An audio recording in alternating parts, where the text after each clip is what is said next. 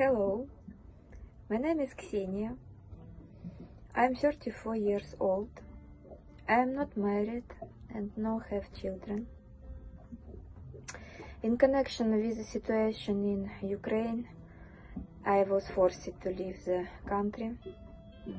At the moment, I am in Turkey. I worked in Ukraine in a pharmaceutical company by the head of the personal department. Mm, Now the company closed. So at moment I'm without work. Um, I like cooking. I like sports. I like um, meet uh, with some friends. I dream to meet my only man and love him. I really want children, or maybe three.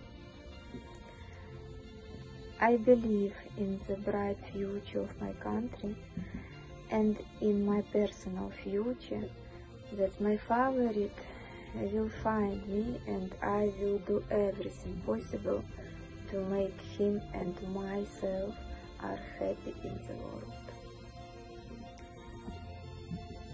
With best wishes, 不一。